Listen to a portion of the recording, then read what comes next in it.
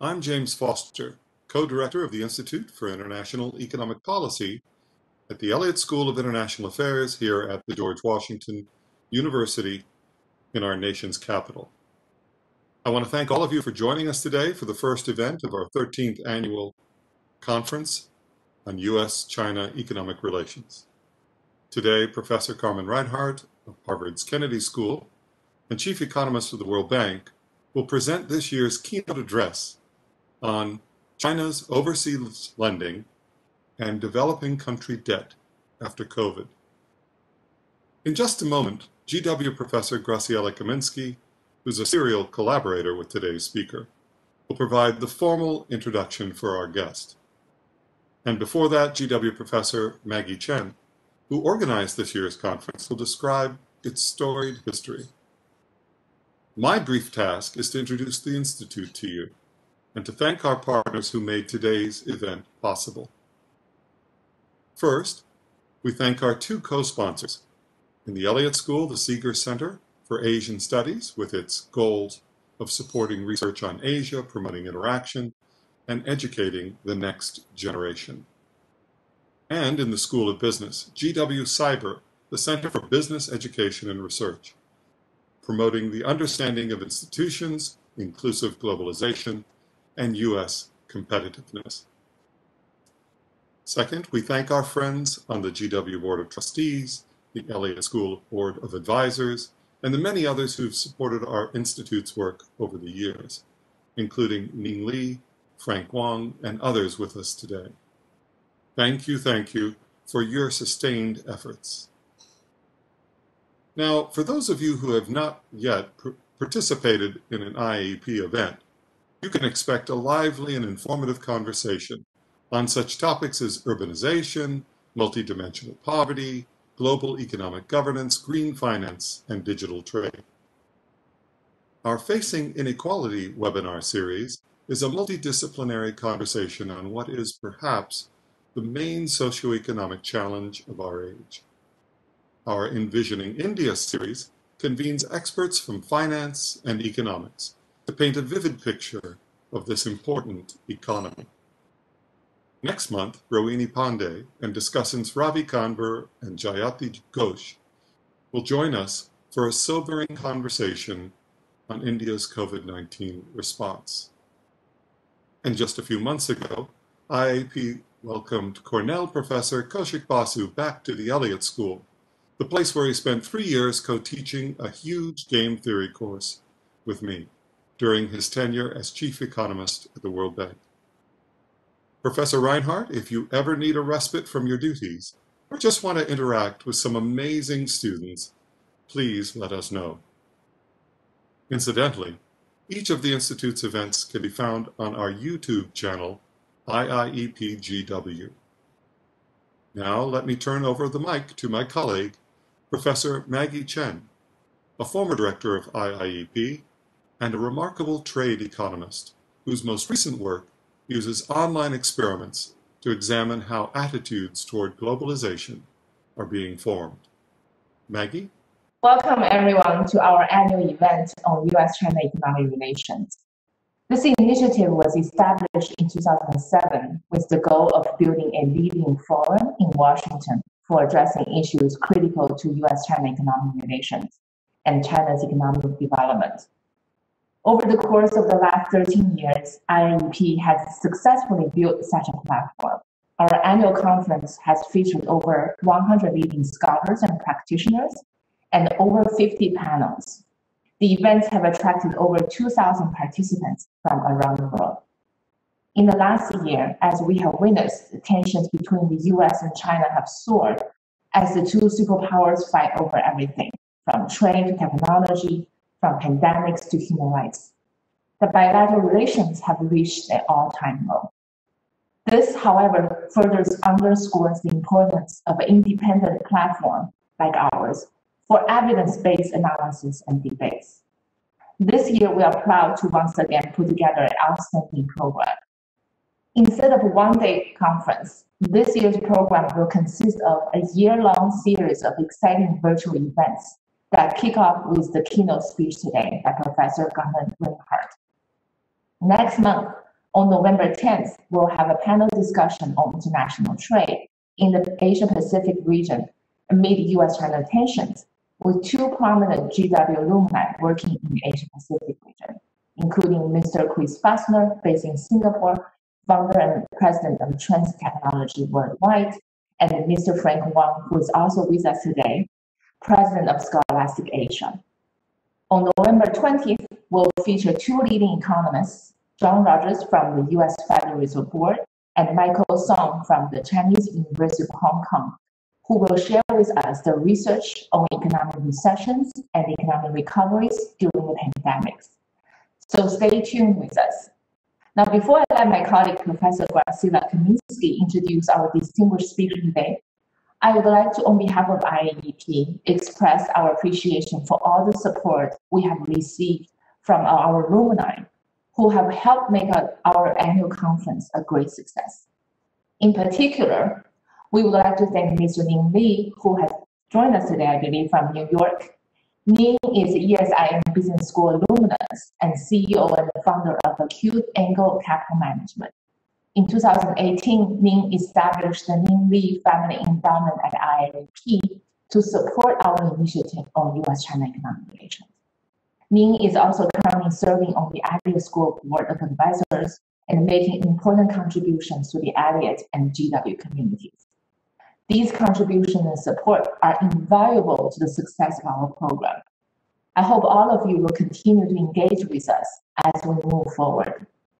Now, without further ado, I will turn it over to my colleague, Professor Graciela Kaminsky, and let her introduce our esteemed speaker today. Thank you, Maggie. Um, it is with great pleasure uh, to introduce an extraordinary economist and friend, Carmen Reinhart, the keynote speaker to our conference, to our 13th annual conference on China, economic development, and US and China relations. Um, I have just three minutes uh, to introduce Carmen, so I will not be able to talk about all her achievements. Um, let me start with some statistics to give you a broad picture of, of Carmen's work. Yesterday, I Googled Google Scholar, and I found out that Carmen has 18, uh, 87,000 515 got Google Scholar citation. So it gives us a, a breadth of her, uh, of her work. She has received also uh, many uh, prizes.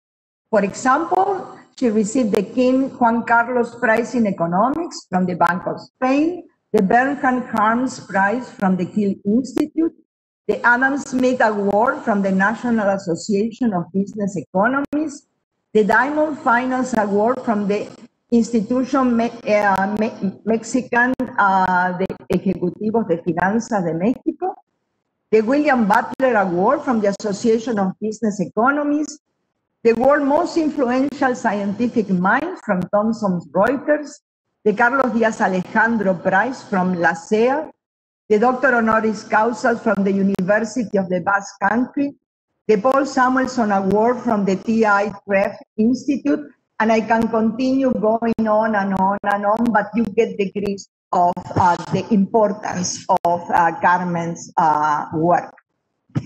I would like to highlight now, in the few minutes that I have left, uh, the broad scope of her research. Um, since uh, the first works that she did was um, on, um, oh, let me first conclude with my uh, quantitative assessment of Carmen's work.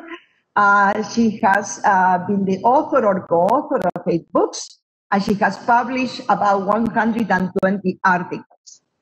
Um, so let me talk a little bit about uh, the contribution and main findings uh, in international macro that Carmen has done. One of her first uh, works uh, started with international capital flows.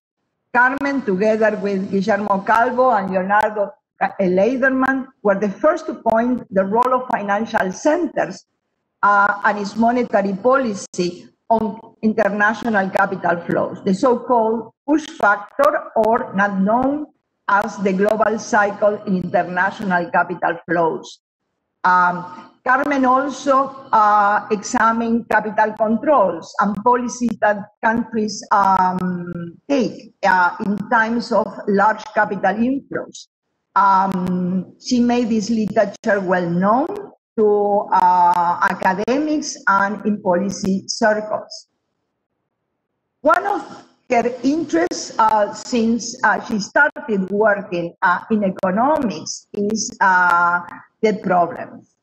Um, for example, she has worked together with Kenneth Rogoff on a large number of papers assessing cycles in sovereign borrowing, the adverse effect of high government borrowing, explaining debt intolerance in uh, emerging markets, um, and she wrote a book, a uh, well-known book uh, with, I'm not sure, I don't remember now how many uh, publications in different language uh, this um, this book uh, has achieved.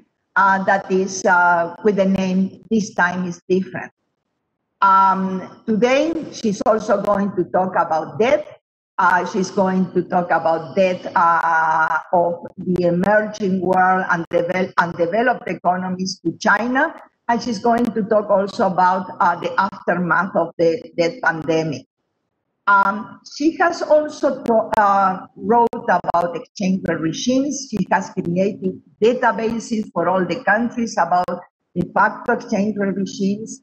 She has also examined uh, why developing countries have fear of floating.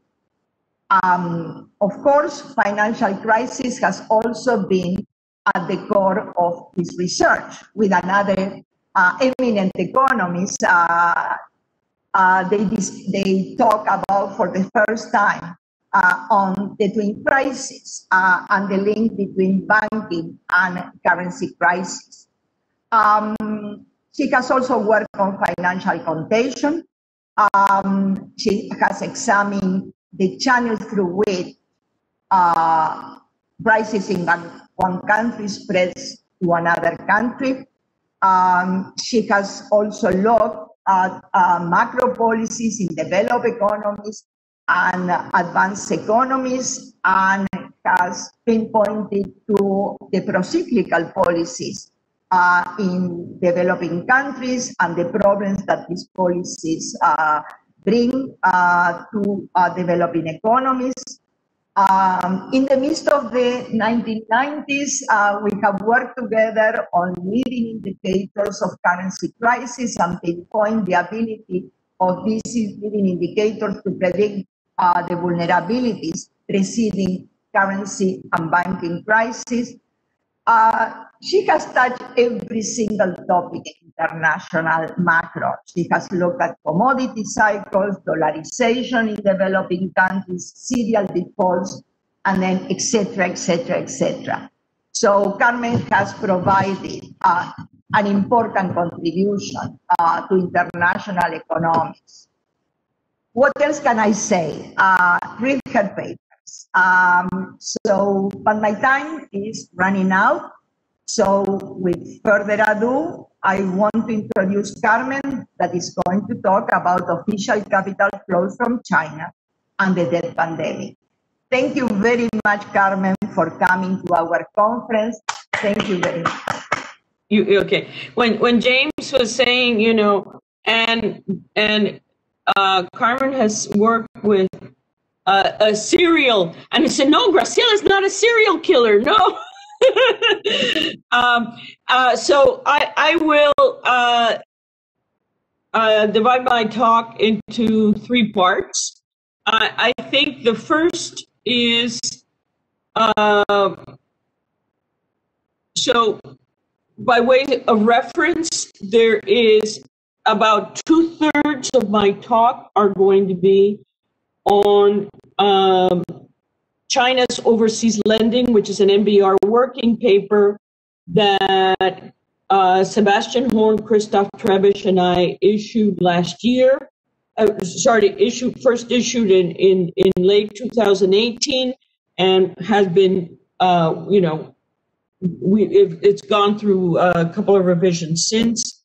Uh, and then in the last third, I am going to talk about how that work connects to the post COVID or the COVID and post COVID debt issues uh, in developing countries. So, it, eh, within the, the, the first two thirds, just I'm just giving you a roadmap.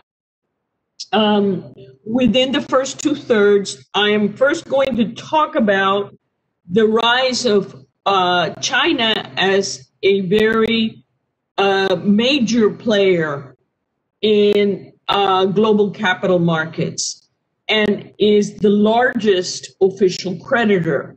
Um, and also revisit some of the work that Graciela mentioned on push and pull factors. You know, what what has been, you know, what are some of the drivers uh, of China's official flows?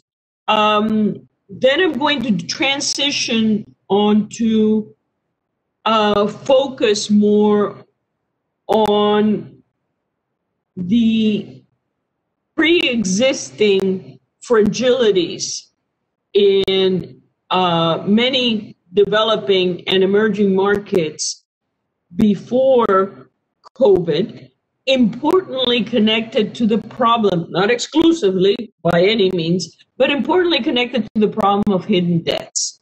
And I'm going to define hidden debts uh, because I would say the main issue with China's overseas lending to uh, developing countries is that much of it is unrecorded by official databases.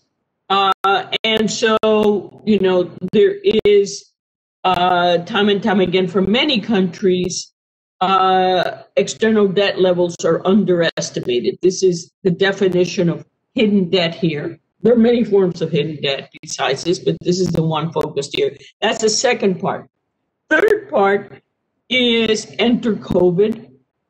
Um, and with it, uh, you know, economic collapse, revenue collapses, mounting debt burdens. This is true across the board, whether you're in the high income end, middle income, or low income. Uh, but uh, what it means uh, going forward. And I'm going to connect to ongoing work that Graciela have with Catherine Holstrom as well on uh, the issue of financial fragility post COVID, because private debts before a crisis become public debts after the crisis quite often. So that's the roadmap.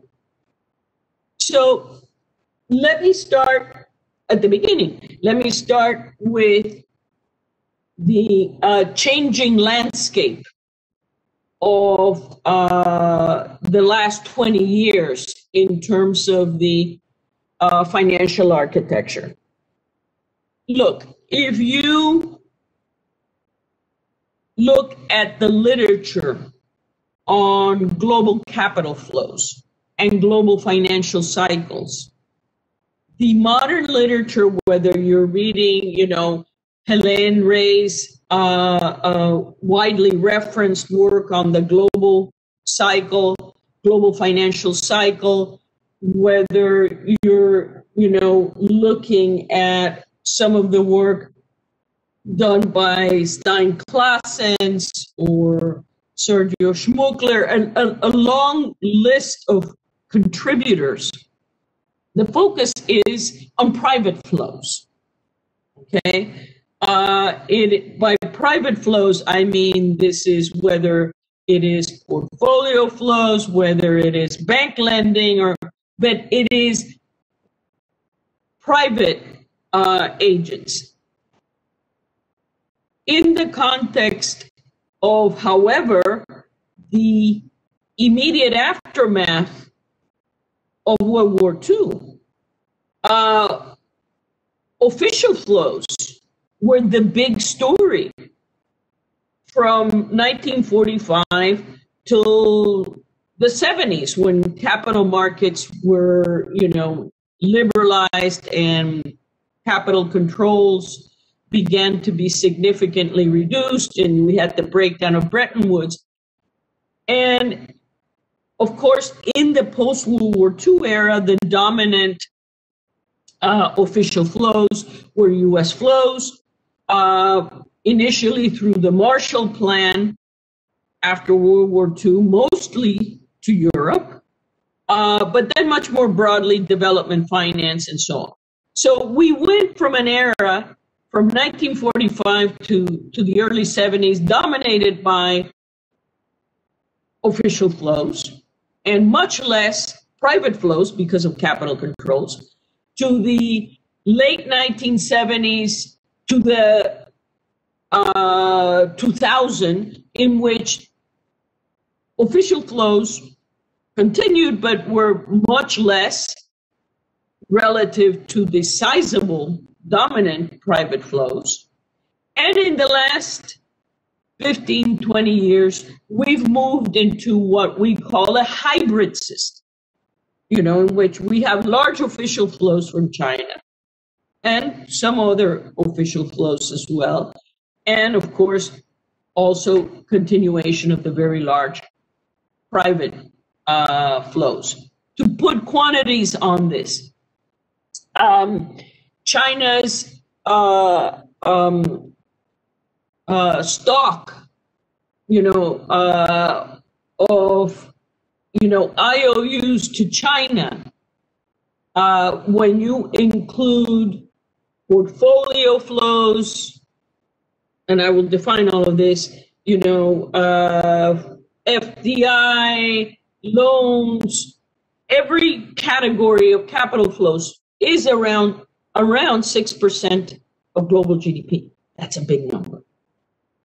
And of that 6%, about 2% is lending uh, to the developing world. And specifically, much of that lending is concentrated on commodity producing countries and much of that lending is concentrated in lower income countries, and much of that lending is also concentrated in Africa, but not exclusively. There's lending in Asia, the Middle East, uh, and and and and uh, Western Hemisphere as well.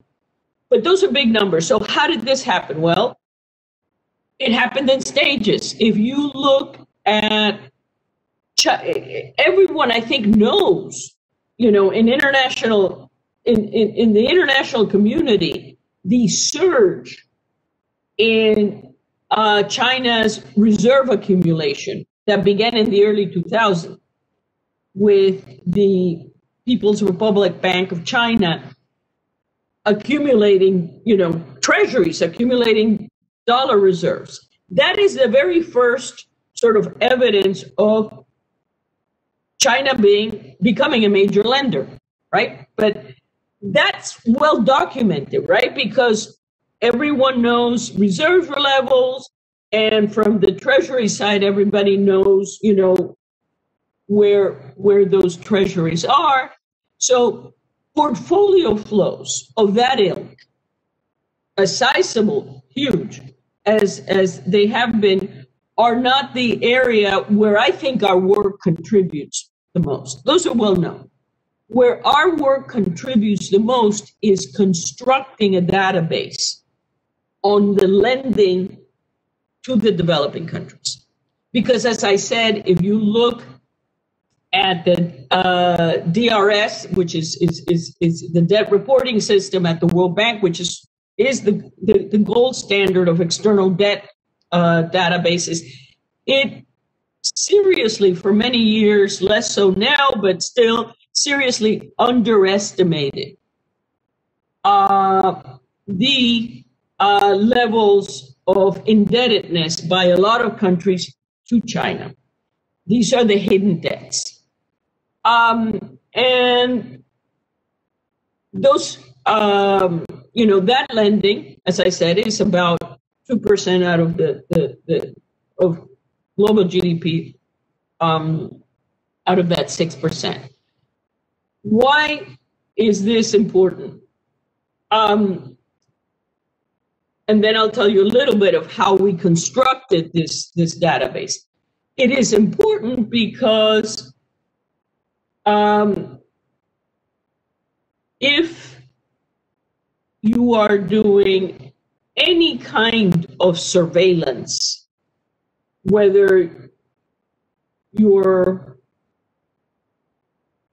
a central bank, the IMF, a uh, private financial firm doing any kind of analysis. One of the obvious uh, indicators that always figures prominently in any analysis is outstanding stock of debt, certainly outstanding stock of external debt.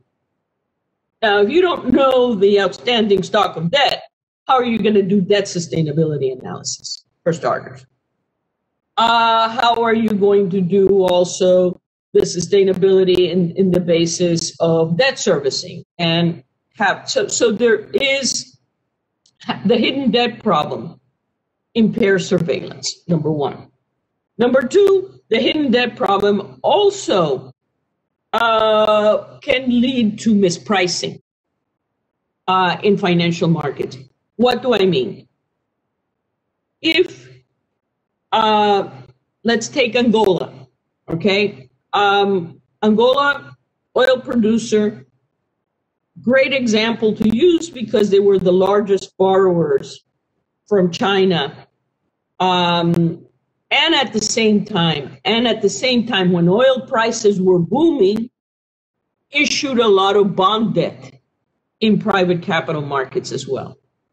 Now, if you are an investor deciding to buy an Angolan bond, the coupon, the, the interest rate you, you want on that bond clearly depends on your risk assessment. And part of that risk assessment is knowing how indebted they are. So if your knowledge of their debt is imperfect, if you think their debt is actually a lot lower than it is, that bond would be mispriced.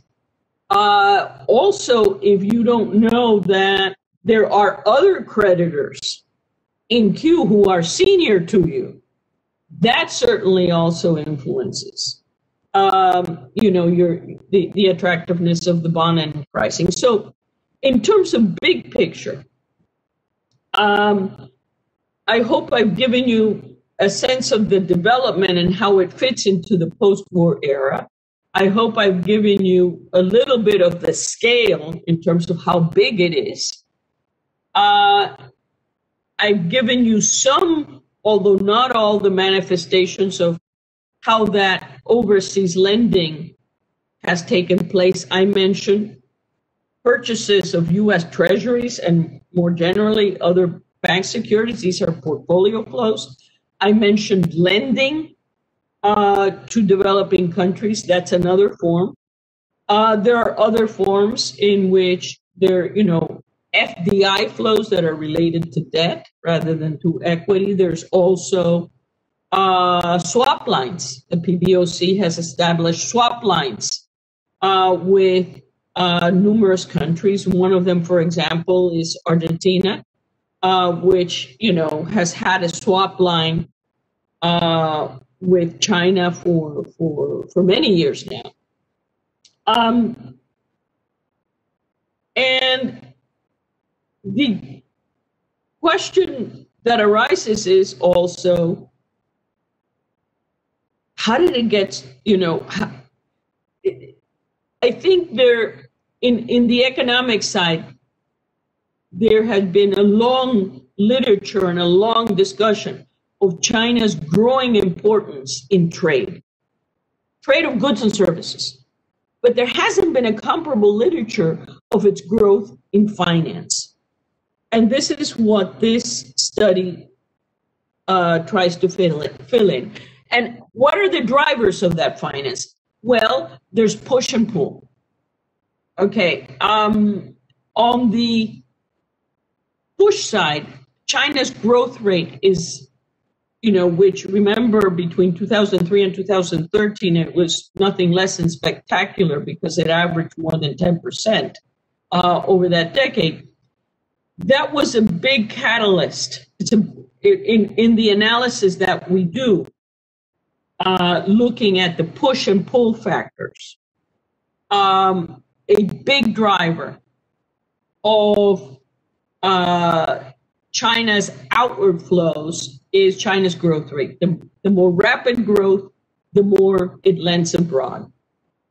We can discuss the mechanism because it's you know it's a fairly straightforward uh, mechanism, but the intuition is also when China was growing at double digits. That era was also marked by very high investment rates in China and big commodity needs, big commodity needs.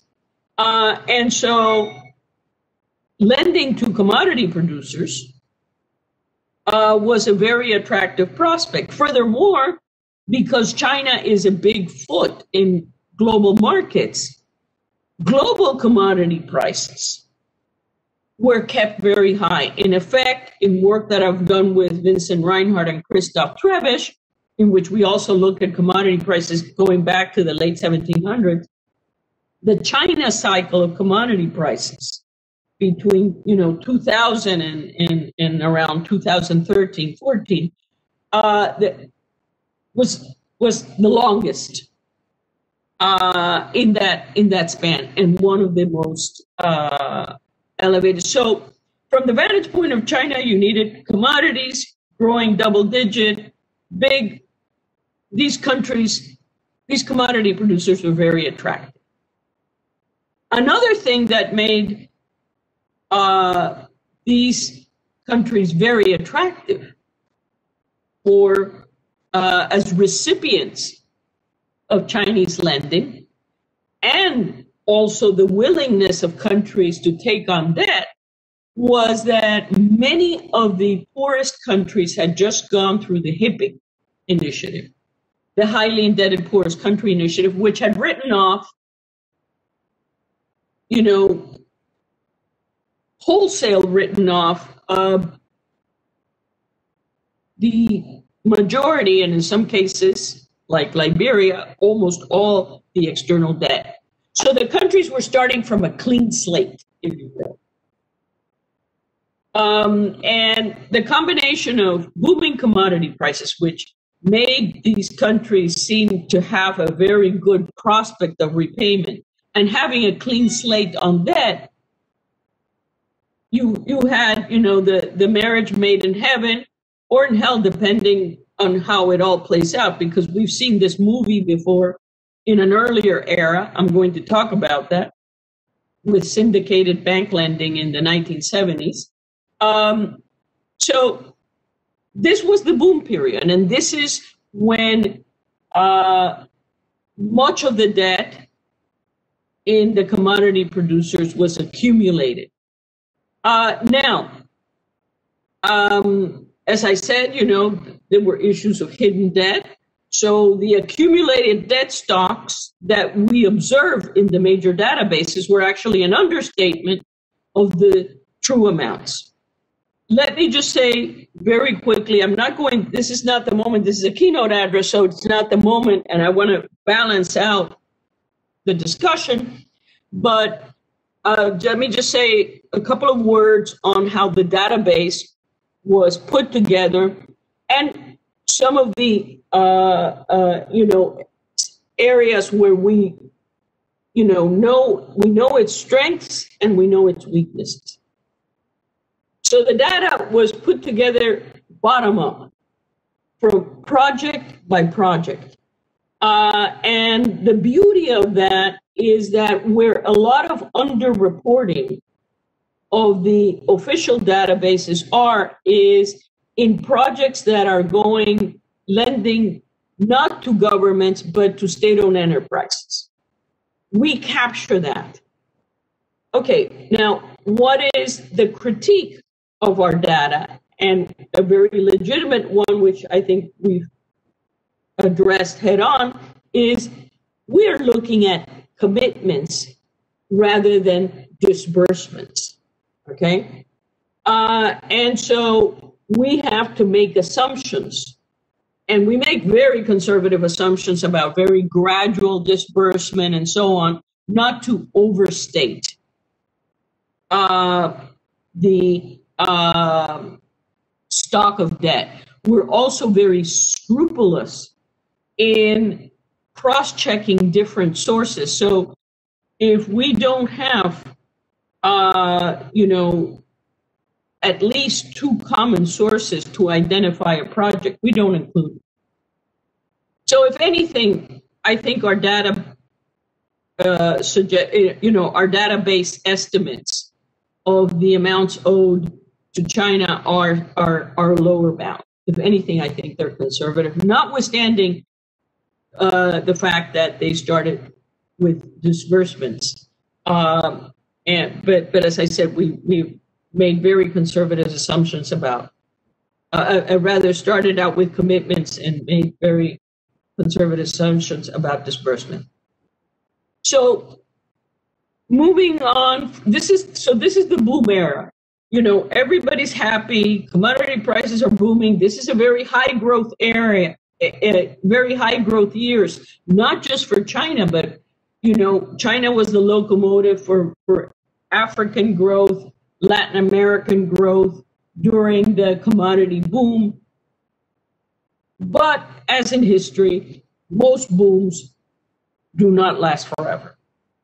And in 2013, you know, you have uh, a turning point and you have, you know, a slowdown in China, you have a reversal in commodity prices.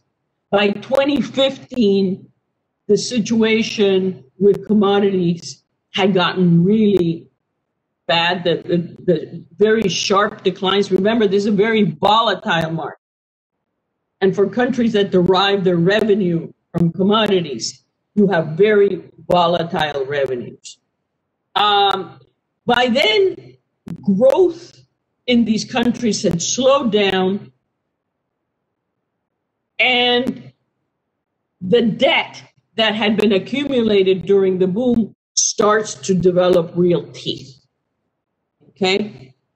Um, and so, you know, uh, Christoph Vincent and uh, Vincent Reinhart and I wrote, uh, uh, you know, a paper on capital flows that also talked about the curious case of the missing defaults.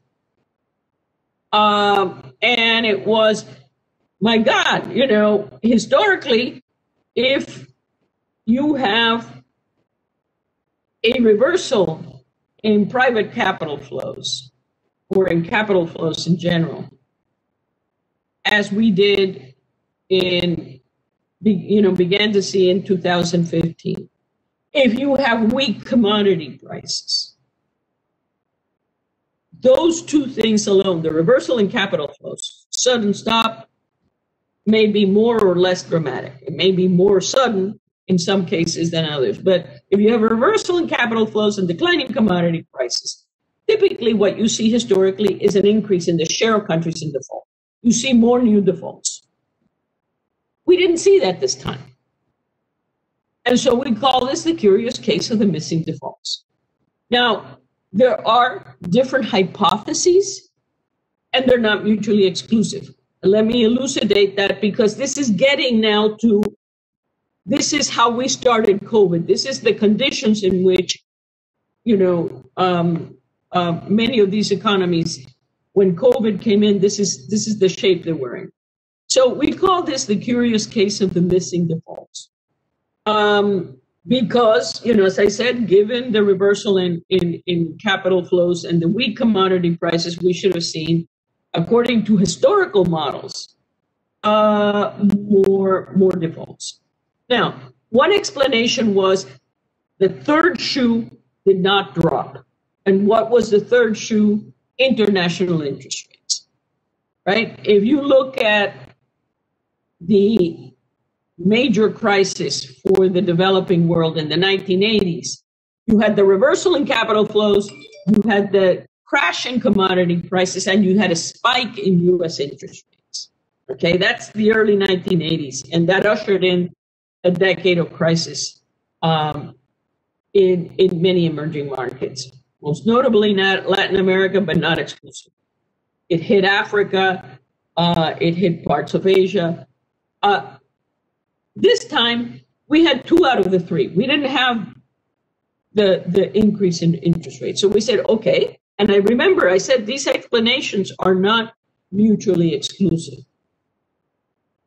Uh, the second explanation was, and there's evidence to support this, uh, work by, for example, Graciela and mine co-author uh, Carlos Végh, Jeffrey Frank, my colleague Jeffrey Frankel, Carlos Végh, indicated that countries were more prudent this time in managing the boom.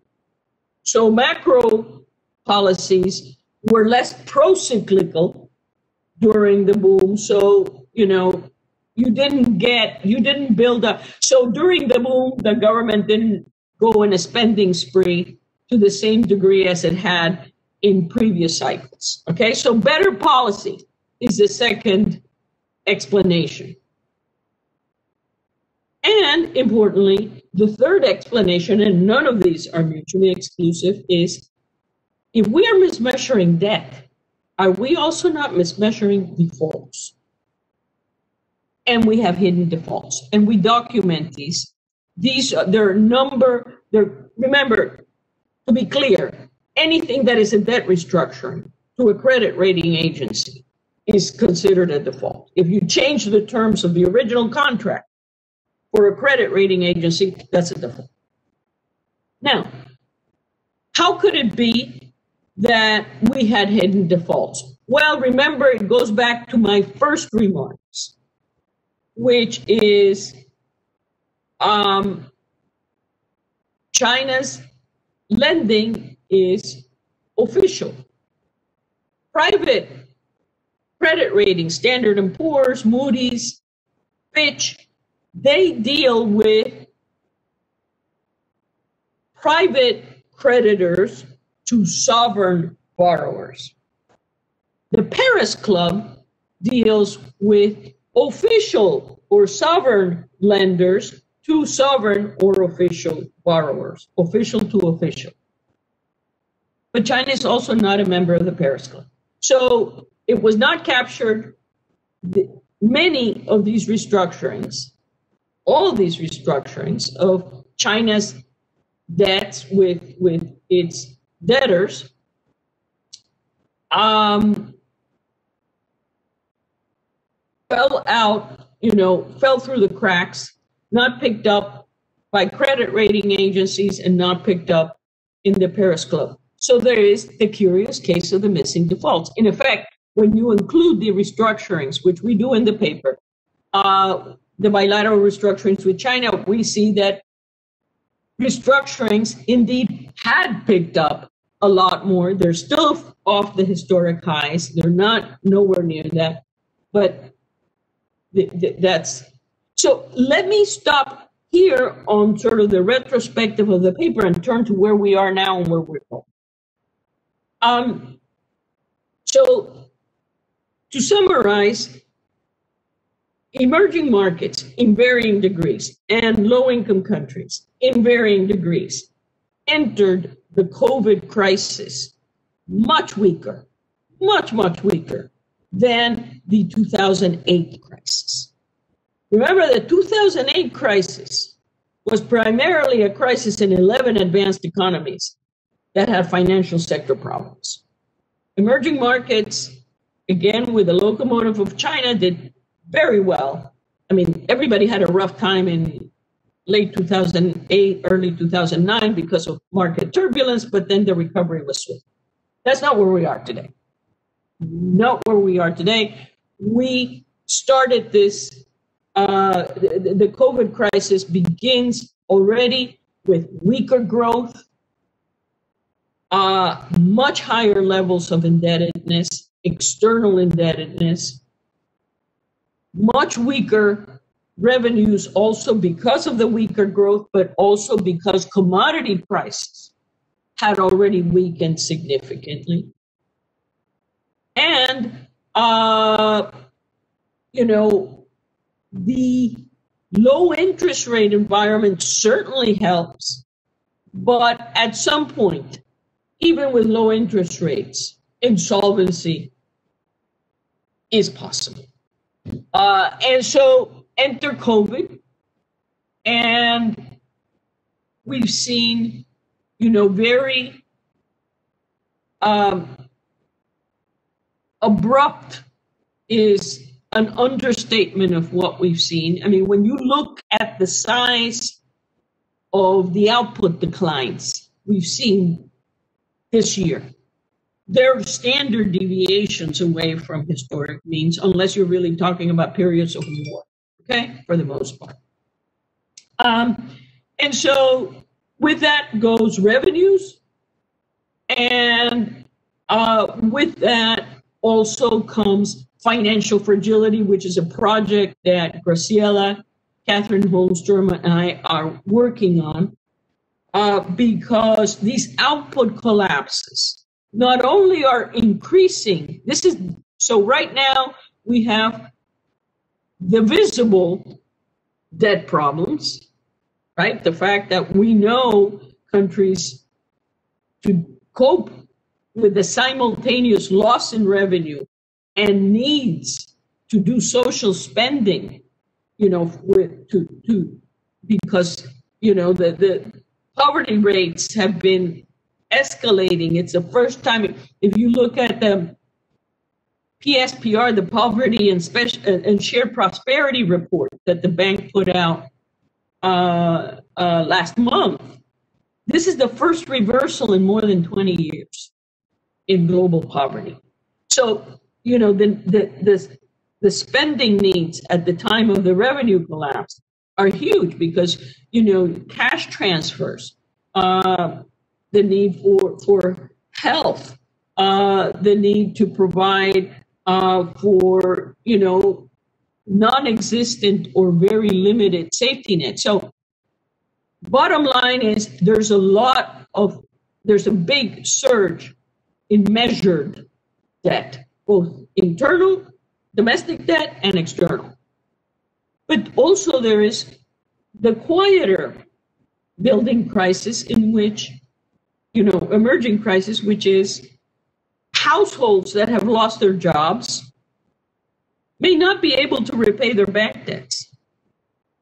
Firms, small and medium enterprises that, you know, have been shut down uh, during the pandemic may never recover.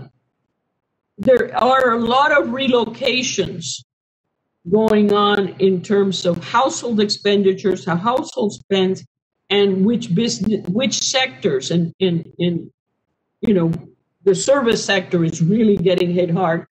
And what this means is that balance sheet problems of financial institutions are also likely to be deteriorating. Some of this deterioration is not yet visible because um, of the uh, um, you know grace periods and and and uh, you know um, the programs that have delayed repayment uh, for firms or households to give them breathing space during COVID. So you have huge sovereign debt buildup. To recap, and now going back to the issue of China. But you have huge sovereign debt buildup. You have significant private sector uh, debt uh, downside, meaning uh, insolvencies. Um, and we know from history that what are private debts before the crisis often become public debt after the crisis because governments typically do not let the banks go into a tailspin and fail. And also because banks, uh, because governments also bail out industries like the airlines. Um, you know, time and time again. These bailouts are not new. If you look at the, you know, the, the, the Dutch trading company, talking about, you know, the, the 16th and 17th centuries, um, you know, the, the, the, the end was, was a massive bailout. They had accumulated a lot of debt and a lot of it became government government debt. So it's, it's a very old story. Um, and one that is biting now. So now, where does China come into this now? Uh, so, a big debate uh, at the moment is, as as you of course know, because as I noted, you know, the entry point into this crisis was already a weak one for many of the low income countries half of the low income countries right now are classified as either being in debt distress or near debt distress. Half of them. Um, and so this gives rise to the DSSI, the Debt Suspension Initiative. The Debt Suspension Initiative was agreed upon in May. In the latest meeting in October of the G20, an extension of another six months was agreed to. It was initially a temporary, it's still a temporary debt relief. Uh, and um, the agreement at present is supposed to last another six months after expiry uh, in at the end of this year, and then up for review in the next annual meetings of the IMF and World Bank in the spring and the G20. All right, so um, during this period, all bilateral creditors are uh, supposed to, uh, uh, you know, be in agreement to not receive debt repayment from the poorest countries, the IDA countries, the aim is pretty straightforward. Instead of servicing debt at a time of emergency, why don't you redirect the funds that were destined to repay debt into paying for emergency needs? That was the idea of the DSSI. And the controversy uh, has, or not controversy so much as the disappointment has come in two, two forms. Number one, the agreement was that official creditors, government, bilateral creditors would start the process and that the private sector would join, join in. That hasn't happened. We've, we've had no participation whatsoever by the private sector. Number two, China is the biggest creditor to these, this country group. And there, the participation has been mixed. And mixed not in a blurry sense, but mixed, meaning that China's uh, uh, um, official line has been Exim Bank and other debts are considered official, therefore part of the DSSI, but uh, Chinese development, China's Development Bank, CDB, is not considered by us as an official entity, but as a private entity, and therefore does not participate in the DSSI. But to some of the countries that have been in hot water and deep trouble in terms of debt sustainability, like Angola, CDB is a big lender. Uh, so um, that has generated uh, quite a bit of, of uh, friction because most of the characteristics of the CDB are that it's an official institution. So, you know, and if it wasn't an official institution, if it was a private creditor, why aren't the rate, credit rating agencies not taking into account, uh, you know, the the the loans made but not repaid to the CDB? So, uh, to conclude, uh, looking forward, meaning beyond the DSSI, what lies ahead. I think, without being melodramatic, we have we're in a period where there's a very high risk of a protracted debt crisis uh, that will be, if history is any guide, very difficult to solve. Uh, and so you are going to hear quite a bit on, you know, what are approaches to dealing with the debt overhang.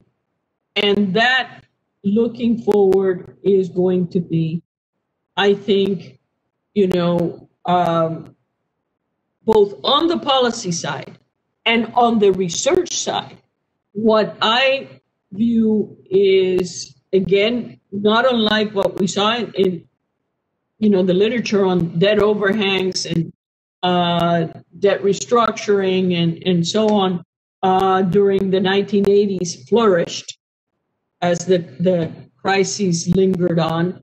I am afraid that's a big fear, and I think it's a well-founded one that we may be heading uh, for a very, very protracted, hopefully not a decade, but I can you cannot rule it out.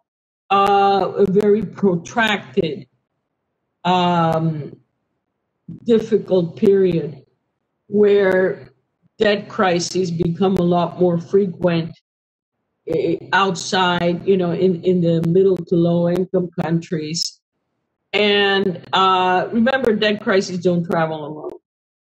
You know, with it, you have financial frailty, you have banking problems, currency crashes because confidence is lost.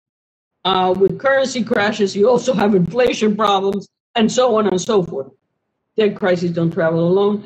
And the big concern is really the biggest concern is a lost decade for development.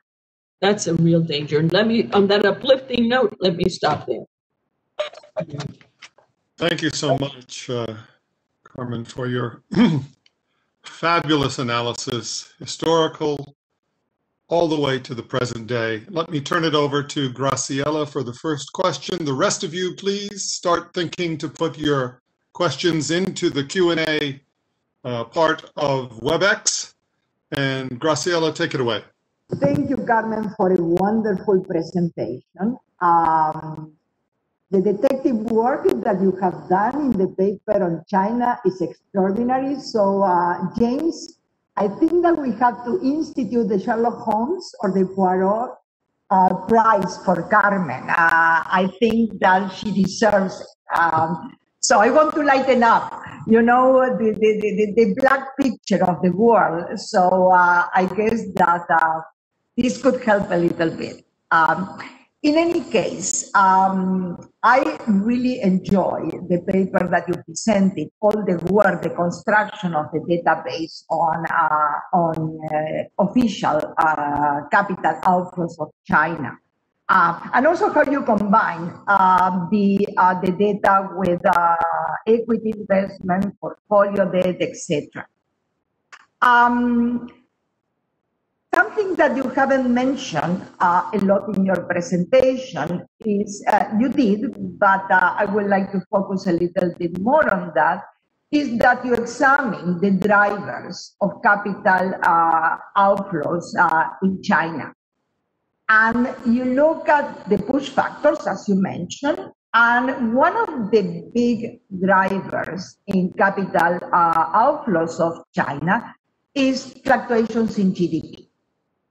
And we know that in the best times in the early uh, 2000, China was growing at 15%, 16%, 11%. Now China is growing at much lower growth rates. And uh, even though uh, the COVID is not a problem so important in China domestically, but it's affecting the rest of the world and it's affecting even further the GDP uh, of uh, China. Um, so also, as you mentioned, commodity prices matter a lot, and commodity prices have uh, collapsed.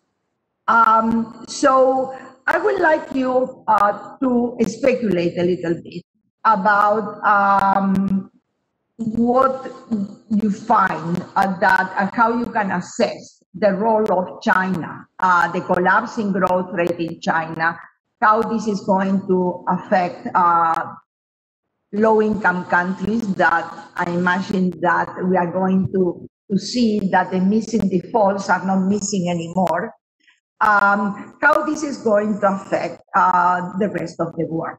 So this is my first question. The second question that I would like uh, to ask is also about the future. Uh, we are living in the perfect storm now. Uh, so we have the pandemic, we have poverty, we have social revolts. Uh, we are questioning uh, the, whether globalization is going to persist. Um, so we are all trying to read uh, the tea leaves and, and the future. So I would like to ask you about uh, how do you see the future, and in particular, you have written a lot uh, on debt and how the debt, if it comes in, a, in high amounts as a proportion of GDP, even leads to a further uh, decline in economic activity. Uh, so you wrote this uh, in the early 2000s. Uh, now we are in a much worse situation. Um, government debt has increased around the world. Uh, private debt has increased around the world. We have uh, an environment of very low interest rates, and corporate debts have increased dramatically. Um, so, um, what do we what do we expect and you mentioned, and I would like you to, to, to talk a little bit more in more detail of what you expect uh, around the world, not just in developing countries, but also in advanced economies. Um, how, um, because now what we are seeing is that government debt is even increasing, as you mentioned, bailouts in firms, bailouts of uh, households, uh, a variety of different programs. So, um, what do you expect for this decade? I would like you to, go in much in more detail if you can. Um, is it going to be a reenactment of the, lost de- decade for Latin America? What type of policies are going to be implemented? Uh, Latin America introduced a lot of financial repression. Um, in the aftermath of World War II, we also observed in advanced economies introduced financial uh, repression. How those are going to affect growth? What are the policies that you advise? I would like to, to also to focus you what type of policies, okay, to exit this conundrum. You can answer both questions. You can answer one of them um, do what you like.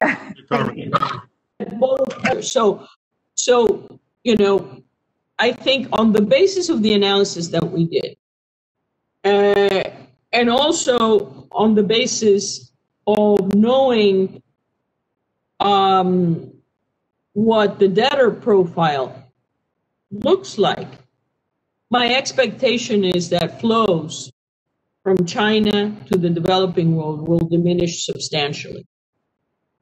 Um, if you look at the analysis, the empirical analysis we did in the paper, as you observe, growth is a big driver.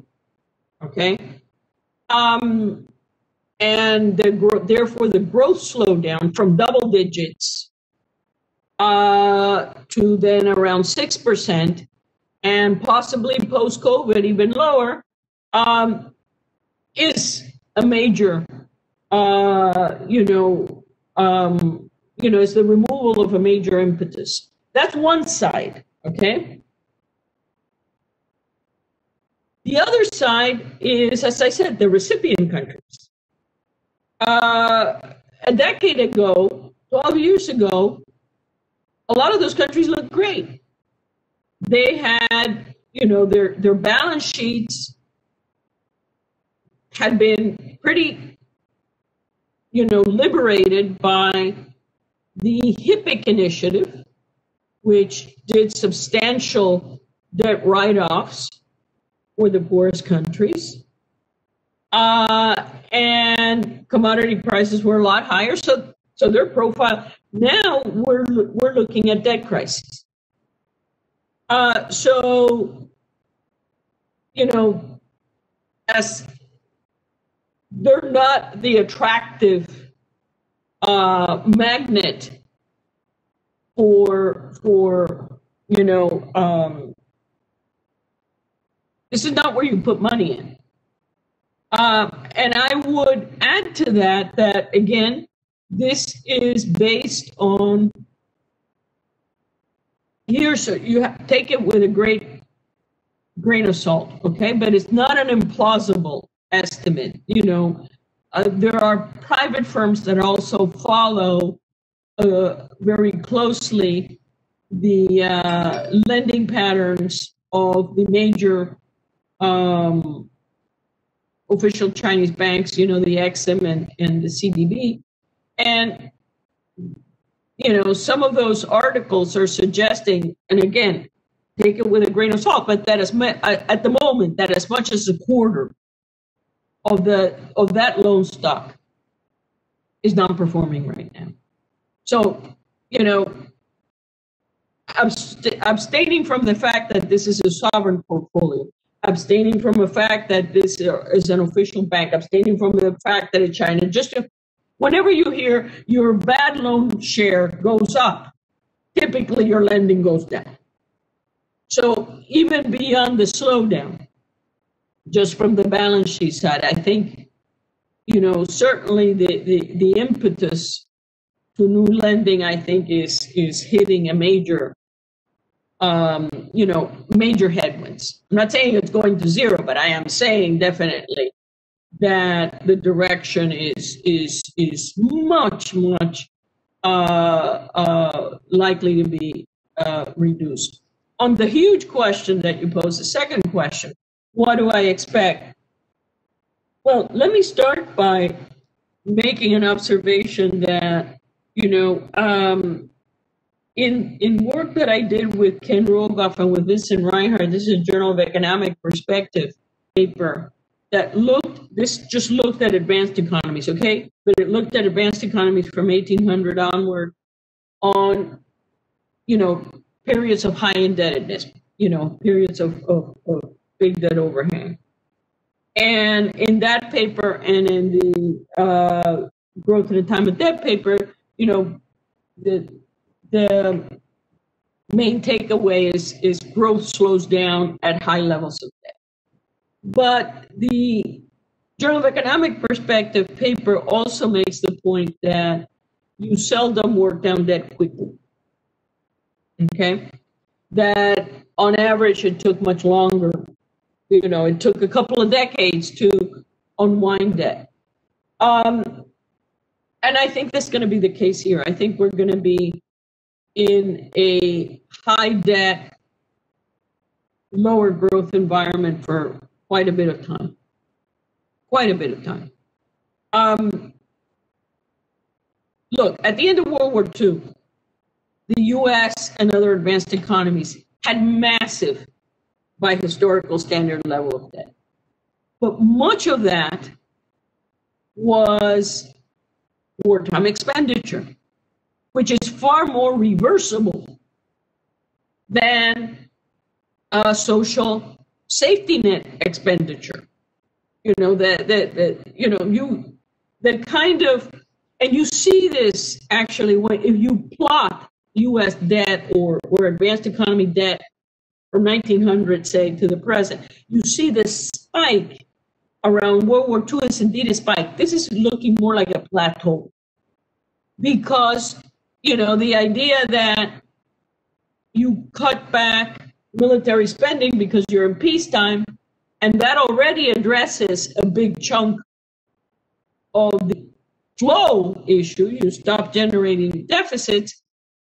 It's very different from what it is today. It's not that easy to do, uh, certainly politically, when you're dealing with with uh, um, non-discretionary uh, you know, built-in uh, items to, to, to the budget. That's number one. Number two, the issue you mentioned, private debt. At the end of World War II, uh, advanced economies had very little private debt because between the Great Depression of the 1930s and then the war, which lasted five years, private debts had been pretty much wiped out. And, you know, again, both of those, I think, are headwinds uh, to, to, to growth in the private side. Um, I think we are going to see a period again, as we saw in 2008, but in 2008, the problem was confined to households. Now it is not just confined to household, it also applies to firms. I think you're going to see a period of deleveraging. Uh, and deleveraging um, is a headwind to growth. Um, you know, it's it's it's it's retrenchment um, is how you deliver, and and and that is on the private side. So that's another consideration. So how do you think we're going to get out of it? Well, I, you know, I've written a lot about financial repression at the end of World War II and how negative, you know, ex post real interest rates uh, were a contributor to how debt was reduced. So I think, yes, I think we are in a low for long uh, environment. I don't think, however, financial repression alone will be able to uh, deal with the outstanding stocks of debt in most advanced economies. I think um, we are going to see uh, higher taxes down the road. And I think we're also going to see uh, and before everybody starts thinking I am deranged, uh, I will remind everyone, you know, that, okay, I, I think we're going to see more debt restructurings. But if I had told you, if I had told anyone, if I had told myself in 2006 or 2007 that an advanced economy in Europe would be having a debt crisis and a default uh, after the global financial crisis. Would you believe me? You know, if if I if I came in in in, in 2006 or seven, told you Greece, you know, Greece is going to be in default, and Ireland, Spain, uh, Ireland, Portugal, Iceland, and Greece are all going to have IMF programs. The last time an IMF had a, an advanced economy program was the very early 80s and that was Portugal. So, you know, uh, I, I think restructurings are are in the most extreme cases also something we can't rule out. And finally, just to be really comprehensive, um, economists have a terrible track record uh, with the problem of extrapolation. You know, we first declared, you know, remember the Great Moder- the, the, the great moderation. Okay? The great moderation was well, we've we've tamed the business cycle. We saw how well that worked out. Then I've just mentioned the fact that, oh no, when I would talk about Greece, and now this is not me saying this with hindsight, you can check and verify this in real time. You know, I was saying this in 2010. This is an emerging market type crisis the way emerging market type crises end, they end with restructuring. Um, you know, there was, oh no, restructuring is something emerging markets do. It's not something advanced economies. Now the the fashionable thing is is is inflation's dead. And you know, like Bloomberg ran an article, you know, with a dinosaur on the cover, and it said inflation is dead. And when I saw that cover, my, my blood froze because I said every time we declare victory on anything, it's it hasn't really worked out too well. So I, I don't let me say this. I don't think uh, first of all, it starts with the most frail, if you will, the canary in the coal mine.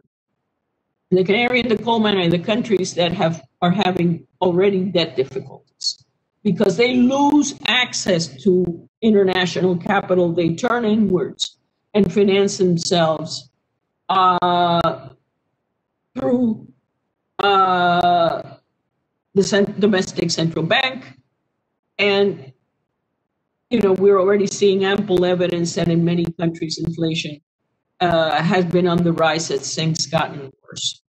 Um, but advanced economies, it, you know, the idea that we don't have to worry at all about inflation, I think that is also uh, subject to the same vulnerability of, you know, the great moderation and we're never going to have defaults in advanced economies and all of that.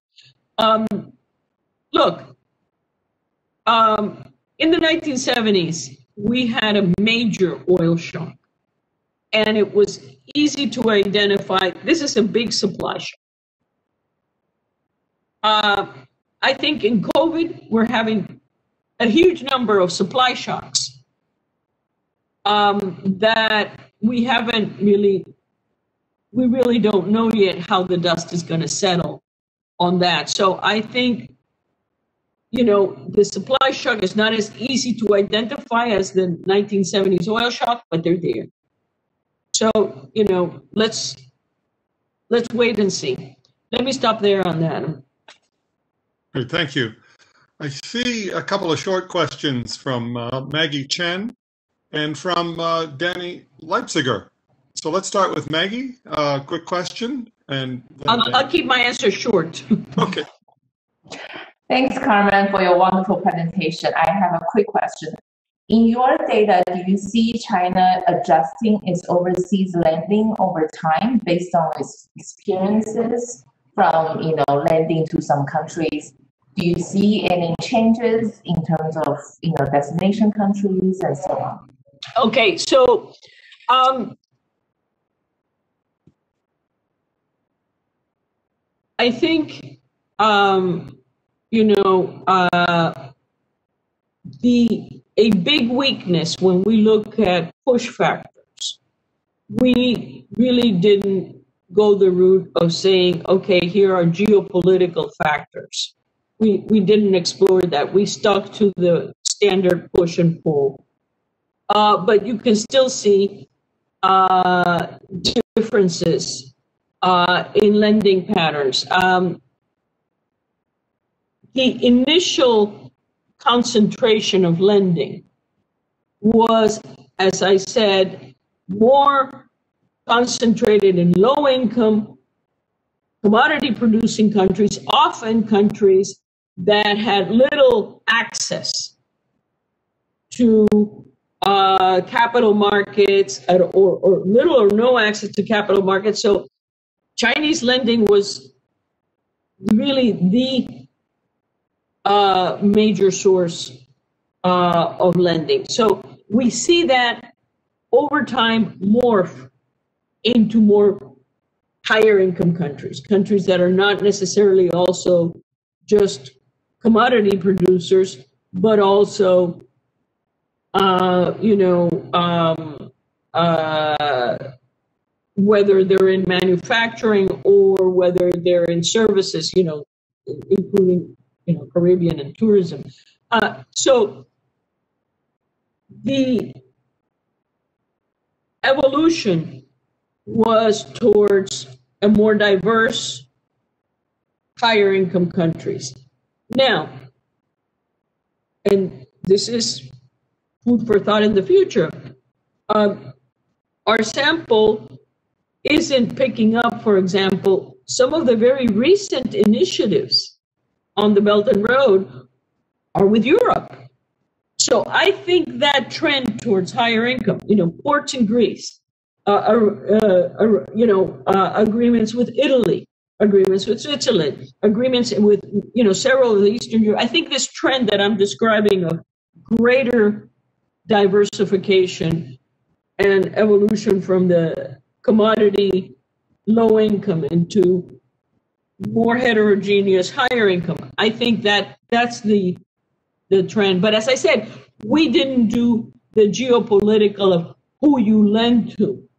Um, but if you were to do the composition of countries over time, that's what I you see what I described. Let me go on with a question from Sunil Sharma of uh, of formerly of the IMF, but currently in the institute. Uh, in an age in which governments in advanced countries have provided government backstops to all kinds of private debt and equity markets, backstops which would have been unthinkable a decade or so ago, do we need to rethink our approach to international private capital flows and the oversight and regulation of such flows?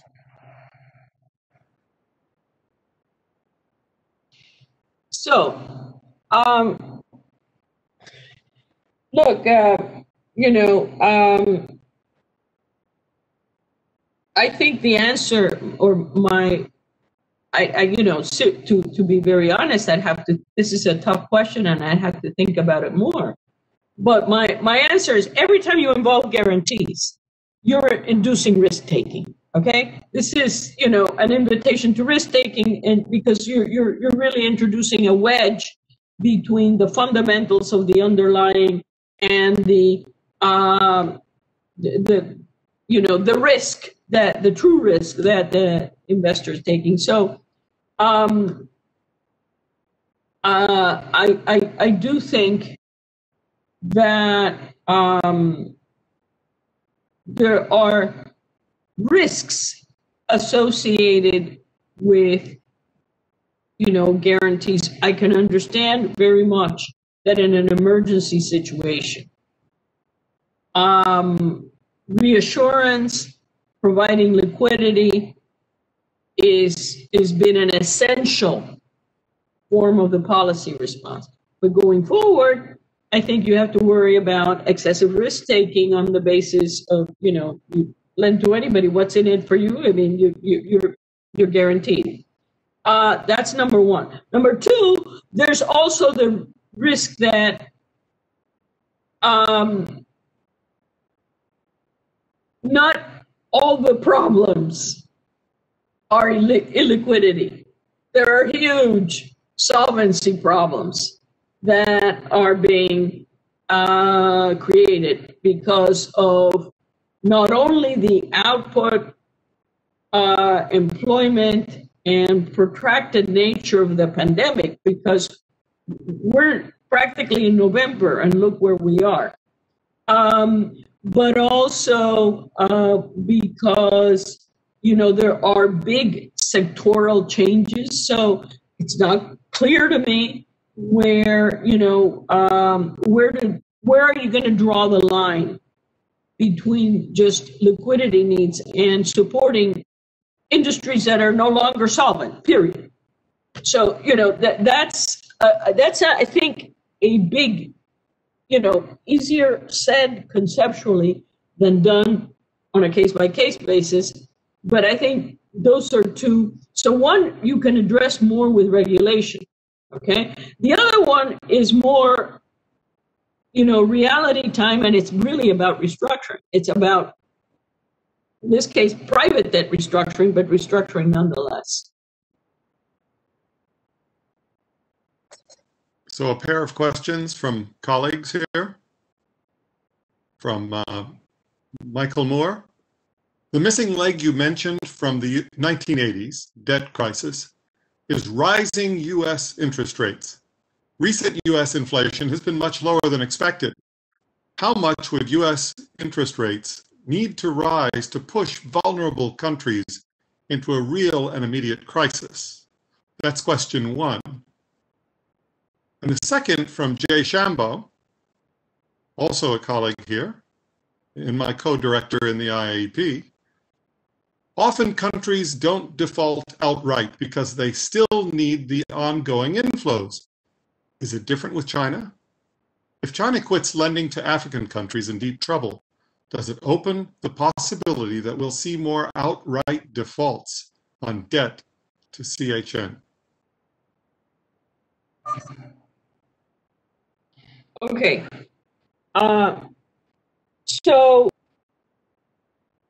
look, uh, bad things can happen even at low interest rates. So, I don't think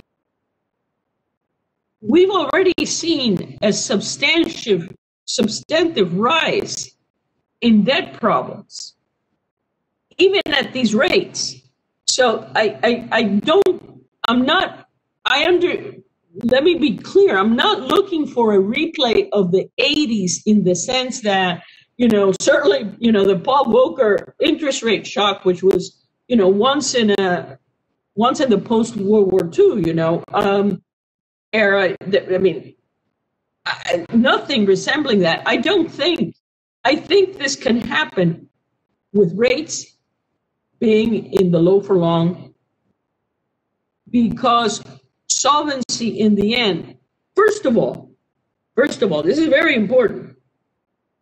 We think of oh rates, look how low, how how I mean, you know, uh well, you know, they're low for whom? Uh El Salvador's last bond issuance was a nine and a half coupon. You know, so so I, I, I, you know, it, the, the, the point that I'm making is that as the frailty of these economies has increased, uh, this is reflected in deteriorated credit, ratings, credit ratings downgrades, both the outright downgrades and the downgrades and outlooks have soared soared to historic highs this year. I actually have the data monthly going back to the, you know, covering the entire 1980s crisis. They're bigger now, they're higher now. Um, so what I'm getting at is even without an interest rate spike, small, medium, or large, uh, I think the insolvency problems are emerging because of the deteriorating fundamentals, the fact that growth isn't coming back quick enough, the fact that yes, the risk-free rate may be zero, but the coupon rates these countries are issuing at are, you know, as I said, that the, the peak one was nine and a half by El Salvador, and uh, you know, the Ghanas, the, the the Zambias, the you know, Zambia is now in selective default, so it's not. But even before that, you're really talking about, uh, you know, well over 8%. Uh, so, you know, that's not really what one would call low. You'd have to be growing uh, pretty rapidly to make your R, R minus G math uh, work for you. Um, now, um, I'm going to have to have you repeat, Jace you know, just just sure, no start it off and up. Hmm? Yeah, yeah. Often countries don't default outright because they still need the ongoing inflows. So is it going to be different with China? If China quits lending to African countries in deep trouble, does it open the possibility we'll see more outright defaults on debt to China? So I, I, I do think there's a possibility we'll see more outright debt, debt defaults. Um, I don't think it will uh, I, I mean, look, we, we, we, you know, we had not just Argentina and Ecuador, but we also had Zambia. All three of them had problems even before COVID. Uh, we've seen, you know, uh, Lebanon, we've seen um, Suriname. Uh, you know, we, we, we, we, we've seen it already. And the reason also that I think um, we uh, are likely to see uh, more defaults is um, the creditor composition has also gotten pretty complex. So it's not just a China question, it's also, you know, uh, many frontier economies, which, you know, 20 years ago, nobody would have thought they could ever issue a bond, have issued a lot of bonds. And so that, you know, there's also private bondholders that are a different class of investor from the commercial bank lending that dominated the scene uh, in the 1980s. okay? Because, you know, in in the 1980s, and I'm not saying it was in any way, shape, or form or easy, because if it had been easy, it wouldn't have taken a decade. Uh, but that in the 1980s, you had really a handful of US banks that had gone, you know, in a, on a lending binge in the late 70s during the commodity boom. There's a lot of parallels in that. We make those parallels in the paper. Uh, but it was more manageable to, you know, deal with that than to deal with bondholders, including some that are very, you know, powerful bondholders, to deal with still uh, other private creditors, commercial creditors, China, which is outside the Paris Club, the Paris Club. And so the creditor landscape, I think, is one that also may reaching short-term agreements when you run when you run out of funds. Uh, you know, sort of the 11th hour emergency kind of default, I think is is um, more likely in this environment. However, also let me say though that in terms of avoiding outright defaults, that had been up until recently, that had been the norm with Chinese lending. You had restructuring. Uh, the, the typical restructuring does not involve any face value face value write-offs.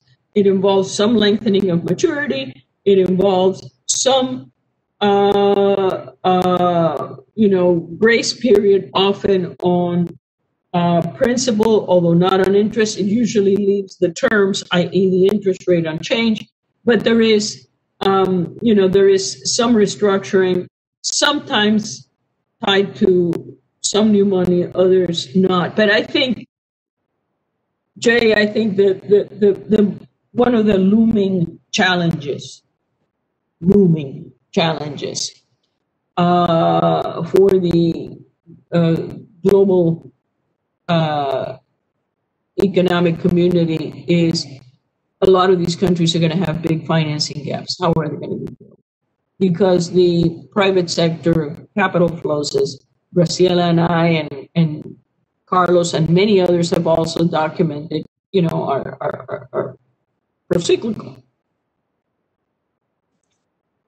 So we're after time, so I'm going to have to cut it off at this point. I want to thank everyone and sorry for not reaching your questions, but thank everyone for being part of the event today and particularly our guest, Carmen Reinhart.